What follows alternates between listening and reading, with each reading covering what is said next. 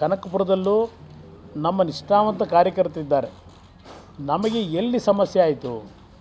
ಕಳೆದ ಎರಡು ಸಾವಿರದ ಹದಿನೆಂಟರಲ್ಲಿ ಸರ್ಕಾರ ರಚನೆ ಮಾಡಬೇಕಾದಾಗ ರಾಜ್ಯ ಮಟ್ಟದ ಮತ್ತು ದೇಶದ ಒಂದು ರಾಜಕೀಯದ ಹಿನ್ನೆಲೆಯಲ್ಲಿ ನಾವು ತೆಗೆದುಕೊಂಡಂಥ ಒಂದು ನಿರ್ಧಾರ ಕನಕಪುರದ ಮೇಲೆ ಸ್ವಲ್ಪ ಡ್ಯಾಮೇಜ್ ಆಗಿರೋದು ನಿಜ ನನಗೆ. ಅಲ್ಲಿ ಸ್ವಲ್ಪ ನಮ್ಮ ಕಾರ್ಯಕರ್ತರಿಗೂ ಗೊಂದಲ ಆಯಿತು.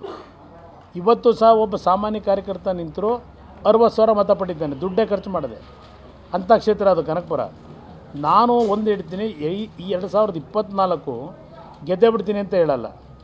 ಫೈಟ್ ಕೊಡಲಿಕ್ಕೆ ಒಬ್ಬ ಸಾಮಾನ್ಯ ಕಾರ್ಯಕರ್ತನೇ ನಿಲ್ಲಿಸ್ತೀವಿ. ಅದು ಎರಡು ಸಾವಿರದ ಇಪ್ಪತ್ತು ಎರಡು ಸಾವಿರದ ಇಪ್ಪತ್ತ್ಮೂರು ಚುನಾವಣೆ. ಎರಡು ಸಾವಿರದ ಇಪ್ಪತ್ತೆಂಟು ಕನಕಪುರ ಕ್ಷೇತ್ರವೂ ಸಹ ಜನತಾದಳಕ್ಕೆ ಎರಡು ಸಾವಿರದ ಇಪ್ಪತ್ತೆಂಟು ನಮ್ಮ ಅಭ್ಯರ್ಥಿ ಗೆಲ್ತಕ್ಕಂಥ ವಾತಾವರಣ ನಿರ್ಮಾಣ ಆಗುತ್ತೆ.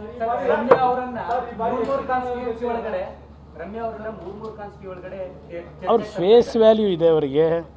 ಫೇಸ್ ವ್ಯಾಲ್ಯೂ ಇರೋದ್ರಿಂದ ಮೂರು ಕಡೆ ಇದ್ದರೆ ಮೂವತ್ತು ಕಡೆನೂ ಚರ್ಚೆ ಮಾಡ್ಬೋದು. ಅವ್ರು ಎಲ್ಲಿ ಬೇಕಾದ್ರೂ ನಿಲ್ಬೋದು. ಅವರು ಒಬ್ಬರು ಚಿತ್ರ ನಟಿ ಇದ್ದಾರೆ. ಚಿತ್ರನಟಿ ನಟಿಯರಿಗೆ ಚಿತ್ರ ನಟರಿಗೆ ಅವರಿಗೆ ಯಾವುದೇ ರೀತಿಯ ಬಾರ್ ಇಲ್ಲ. ಇಂಥ ಕ್ಷೇತ್ರದಲ್ಲೇ ನಿಲ್ಲಬೇಕು ಇಂಥ ಕ್ಷೇತ್ರದಿಂದಲೇ ಅವರು ದುಡಿಮೆ ಮಾಡಿದ್ದಾರೆ. ನಿಲ್ಲಬೇಕು ಅಂತಕ್ಕಂಥದ್ದು ಅವ್ರು ಈ ರಾಜ್ಯದ ಇನ್ನೂರ ಇಪ್ಪತ್ನಾಲ್ಕು ಕ್ಷೇತ್ರ ಎಲ್ಲಿ ಬೇಕಾದರೂ ನಿಲ್ಬೋದು. ಅದು ನಾನು ಲಘುವಾಗಿ ತೆಗೆದುಕೊಳ್ಳೋದಿಲ್ಲ.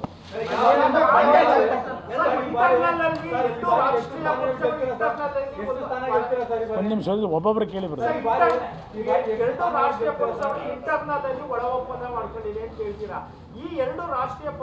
ನಿಮಗೆ ಚುನಾವಣೆಯ ಚುನಾವಣೆಯ ಅಭ್ಯರ್ಥಿಗಳು ಯಾವ್ಯಾವ ಕ್ಷೇತ್ರದಲ್ಲಿ ಯಾವ್ಯಾವ ಪಕ್ಷದ ಅಭ್ಯರ್ಥಿಗಳು ಈ ಕಡೆ, ಆ ಕಡೆ ಎಲ್ಲ ಆಗ್ತಿದೆ ನೋಡೋಣ. ಅಂತಿಮವಾದ ಒಂದು ನಾಮಪತ್ರ ಸಲ್ಲಿಕೆ ಆಗಬೇಕಲ್ಲ.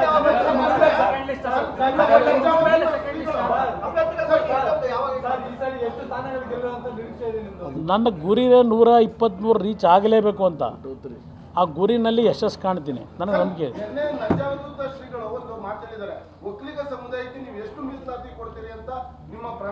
ಈಗ ಈಗ ನನ್ನ ನನ್ನ ಆ ನಂಜಾವಧೂತ ಸ್ವಾಮೀಜಿಯವ್ರ ಬಗ್ಗೆ ನನಗೆ ಗೌರವ ಇದೆ. ಅವರು ಏನು ಮೊನ್ನೆ ಒಕ್ಕಲಿಗರ ಒಂದು ಸಂಘದ ಸಮಾವೇಶದಲ್ಲಿ ಮೂರು ಪಕ್ಷಗಳನ್ನು ಕೇಳಬೇಕು ಸಂಘದ ಪದಾಧಿಕಾರಿಗಳು ಒಕ್ಕಲಿಗರಿಗೆ ಎಷ್ಟು ಮೀಸಲಾತಿ ಕೊಡ್ತೀರಿ ಅಂತಕ್ಕಂಥದ್ದು ಹೇಳಿದ್ರೆ ಗಮನಿಸಿದ್ದೇನೆ. ನಾನು ಹೇಳ್ತಕ್ಕಂಥದ್ದು, ಕೇವಲ ಒಕ್ಕಲಿಗ ಸಮಾಜ ಒಂದಕ್ಕೆ ಅಲ್ಲ, ಇಡೀ ರಾಜ್ಯದಲ್ಲಿರ್ತಕ್ಕಂಥ ಎಲ್ಲ ಸಮಾಜಗಳಿಗೂ ಯಾವೊಂದು ಮೀಸಲಾತಿಯ ವ್ಯವಸ್ಥೆಯಲ್ಲಿ ನ್ಯಾಯವಾದಂಥ ಹಕ್ಕು ಪಡಿಬೇಕಾಗಿದೆ ಅವರು. ಕಾನೂನಿನ ವ್ಯಾಪ್ತಿ, ಲೀಗಲ್ ವ್ಯಾಪ್ತಿನಲ್ಲಿ. ಅದಕ್ಕೆ ಒಂದು ಗೈಡ್ಲೈನ್ಸ್ ಏನಿದೆ? ಒಂದು ಮೀಸಲಾತಿಯ ವ್ಯವಸ್ಥೆಯನ್ನು ಮಾಡಬೇಕಾದ್ರೆ ಸಂವಿಧಾನದಲ್ಲಿ ಅಂಬೇಡ್ಕರ್ ಅವರು ಏನು ಮೀಸಲಾತಿಗೆ ಬಗ್ಗೆ ಕೆಲವು ಗೈಡ್ಲೈನ್ಸ್ ಇಟ್ಟು ಹೋಗಿದ್ದಾರೆ.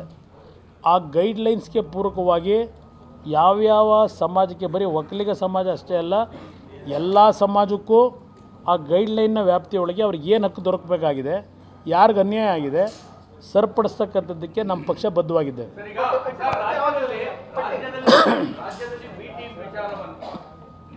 ರಾಜ್ಯದಲ್ಲಿ ರಾಜ್ಯದಲ್ಲಿ ರಾಜ್ಯದಲ್ಲಿ ಬಿ ಟೀಮ್ ವಿಚಾರವನ್ನು ರಾಜ್ಯದ ನಾಯಕರುಗಳು ಮಾತಾಡ್ತಾ ಈಗ ರಾಷ್ಟ್ರೀಯ ನಾಯಕರುಗಳು ಮಾತಾಡ್ತಾ ಇದ್ದಾರೆ BJP Congress JDS J D ಎಸ್ನ ಬೆಳವಣಿಗೆ ಜೆ ಡಿ ಎಸ್ನ ಬೆಳವಣಿಗೆ ಈಗಿನ ಒಂದು ಪಂಚರತ್ನ ರಥಯಾತ್ರೆಯ ಕಾರ್ಯಕ್ರಮಗಳು ಪ್ರಾರಂಭ ಆದಮೇಲೆ ಎರಡೂ ರಾಷ್ಟ್ರೀಯ ಪಕ್ಷಗಳಿಗೂ ಸ್ವಲ್ಪ ಆತಂಕ ಇದೆ. ಅದಕ್ಕೆ ಕಾಂಗ್ರೆಸ್ನವರು ಜೆ ಡಿ ಎಸ್ನ B J P B team ಅಂತಾರೆ ಬಿ ಜೆ ಪಿಯವರು ಕಾಂಗ್ರೆಸ್ನ ಬಿ ಟೀಮ್ ಅಂತ ಹೇಳ್ತಾ ಇದ್ದಾರೆ. ಆ ಆತಂಕದಿಂದ. ನಾವು ಈ ನಾಡಿನ ಕರ್ನಾಟಕದ ಕನ್ನಡಿಗರ ಬಿ ಟೀಮ್ ನಾವು. ಆರೂವರೆ ಕೋಟಿ ಜನತೆಯ ಬಿ ಟೀಮ್ ನಾವು ಅಂತಕ್ಕಂಥದ್ದನ್ನು ಭಾಳ ಸ್ಪಷ್ಟವಾಗಿ ಹೇಳಲಿಕ್ಕೆ ಬಯಸ್ತೀನಿ. ಇಲ್ಲ ರೋಡ್ ಶೋ ನಾವು ಭಾಳ ಜನಕ್ಕೆ ರಾಮನಗರದಿಂದಲೇ ಪ್ರಾರಂಭ ಮಾಡಬೇಕು ಅನ್ನೋದು ಇದೆ ಅಭಿಮಾನಿಗಳಿಗೆ. ಬಟ್ ಡಾಕ್ಟ್ರ ಒಂದು ಸಲಹೆ ಮೇರೆಗೆ ಅದು ರೋಡ್ ಶೋಗೆ ಒಪ್ತಾ ಇಲ್ಲ. ಆದರೂ ಸಹ ನಾನು ಜಿ ಟಿ ಅವ್ರಿಗೂ ಸಾರಾಮೇಶ್ವರ್ಗೂ ಮಾತನಾಡಿದ್ದೇನೆ ನಮ್ಮ ಜಿ ಟಿ ಅವ್ರ ಕ್ಷೇತ್ರ ಶ್ರೀರಾಮ್ಪುರ ಏನಿದೆ, ಅಲ್ಲಿಂದ ಒಂದು ಮೂರು ಕಿಲೋಮೀಟ್ರನ್ನೂ ಆಗ್ಬೋದು. ಒಂದು ರೋಡ್ ಶೋ ಅಲ್ಲಿಂದ ಈ ಸ್ಥ, ಸ್ಥಳದವರೆಗೆ ಮಾಡ್ತಕ್ಕಂಥದ್ದು ಸೂಕ್ತ ಅಂತಕ್ಕಂಥದ್ದು ಚರ್ಚೆ ಮಾಡ್ತಾ ಇದ್ದೇವೆ.